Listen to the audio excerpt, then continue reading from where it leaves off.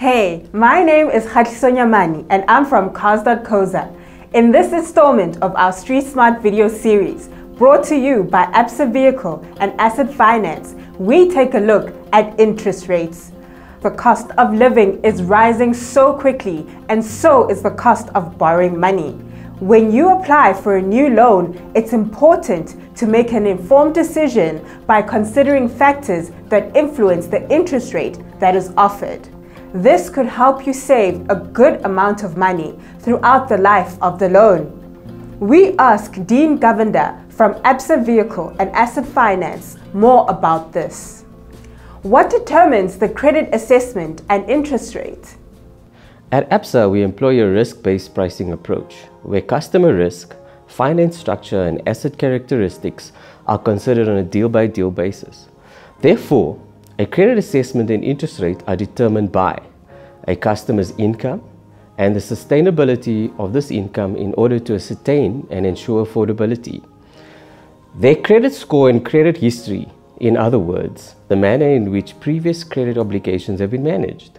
Depending on the loan, the type and quality of the asset, vehicle or property, the channel used to buy the vehicle, the type of interest rate you select when applying for a loan, in other words, whether it is fixed or linked to the prime lending rate.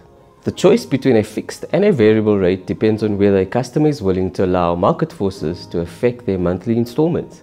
Generally, the fixed rate option will give one the comfort of an installment amount that doesn't change. However, this certainly comes at a cost because the interest rate is typically higher than the variable interest rate, which will increase or decrease in line with the prime lending rate.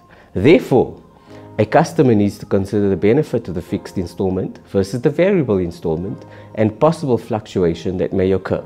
Which factors will contribute to having a more favorable outcome on your application for a vehicle finance loan?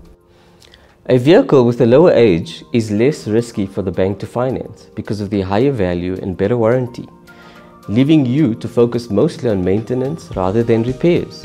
New vehicles may come at a higher price, but interest rates may be lower because of the ongoing car dealership specials and promotions.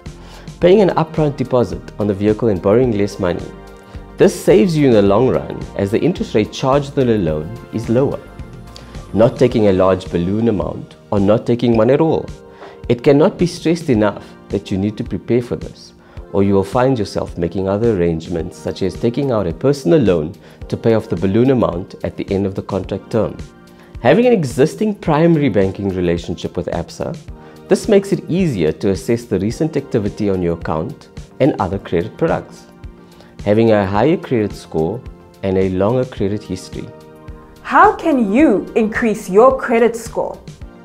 You can work towards increasing your credit score by following steps that include paying loans on time and setting up debit orders for payments, paying off existing loans, closing any unnecessary accounts and keeping credit use low, reviewing your credit score regularly, rectifying mistakes, and identifying any fraudulent activities early.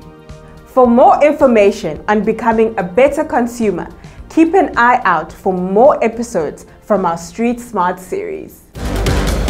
Cars.co.za